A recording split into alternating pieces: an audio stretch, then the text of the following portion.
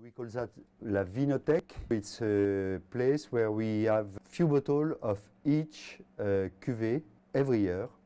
And like that we can uh, see how the wine age after 5, 6, 10, 20, 30 years.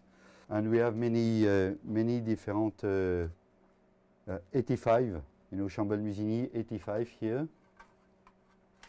2000. Burgundy it's Pinot Noir, only one cepage, first of all, and it's uh, mainly wine for gastronomy. It goes very well with food. You know, we are here in an organic way. You can see the vineyard. We have uh, uh, uh grass on the soil. We plowed. We we spray only with uh, organic product. Here it's it's vine of I would say 70, 60 to 70 years old.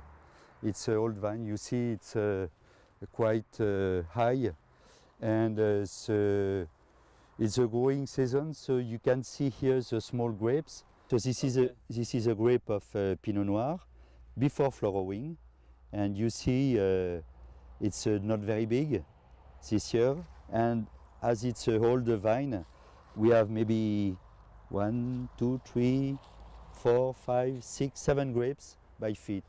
So it's not a lot, and, uh, but it's perfect to, to make a high quality wine. The soil is, uh, you see, it's uh, typically a soil for Nuits Saint-Georges Pinot Noir. You know, it's uh, uh, today with clay, but also uh, sandy and stony. Here we have, in fact, three different geological levels. So the first one is, is the, the Premier Cru Clos Saint-Marc, and you see you have a, a, a, wall over there, and from the wall to the forest, it's another, uh, it's another, I call that uh, Mother Rock, you know.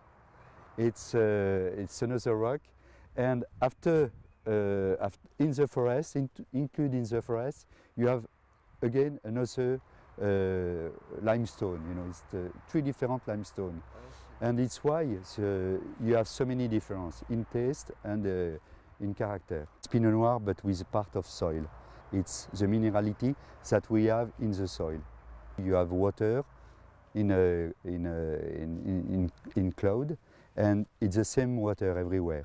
But when it's fall here, in this vineyard, you have a special mineral.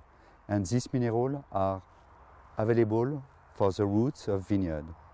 And it's why the vine, you know, grow with this water, but also with the, this mineral and give a special uh, ripeness and special grapes. The Premier Cru, you know, in a village, for example, you have different vineyards, and uh, when it's uh, in very good location, in the middle, in general, in the middle of the slope, uh, it's here that we have the best drainage and also the personality of the, of the soil.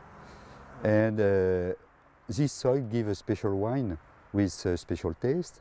The vineyard give a special wine with a lot of personality. And uh, you know, Nuits Saint-Georges, for example, give wine with a lot of fruit. Vosne Romanée is more floral. Gevrey Chambertin, for example, is very spicy.